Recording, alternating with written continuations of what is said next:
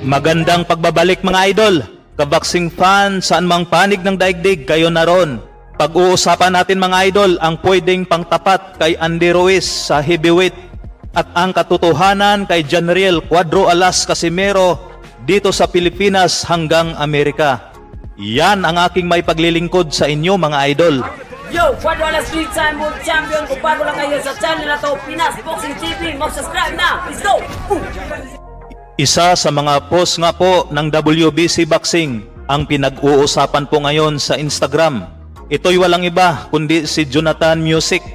Sa sobrang taba at sa sobrang laki po nito mga idol ay nagawa niya ang mga ginagawang pag-iinsayo ng mga totoong boksingero. Hinahalin tulad pa nila ito kay Andy Ruiz sa heavyweight. Kasi dambuhala din itong si Ruiz mga idol, mga nakaraan taon nito sa heavyweight. Di tulad ngayon, medyo bato-bato na nga po ang katawan nito.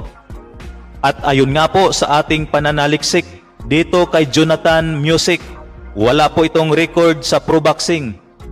Baka isang amateurista pa lamang ito mga idol o di kaya papasok pa lamang bilang isang boksingero. Sa kabilang banda naman, ang katotohanan kay Janriel Cuadro Alas Casimero Maraming naninira dito at pilit pong pinapabagsak nila ang isang multiple world champion ng mga iilang tao na hindi tanggap ang kasikatan at pag-aangas ni Casimero sa kanyang channel. Kaya patuloy po itong sinisiraan.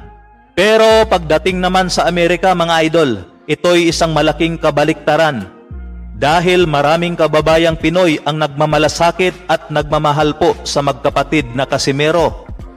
At lubos nga po silang humahanga dito kasi alam po ng mga Pilipino sa Amerika na ito ay nagbibigay po ng karangalan sa ating bansa. At sana ganun din po tayong lahat mga idol. Hanggang dito na lamang po. Maraming salamat sa inyong suporta. God bless.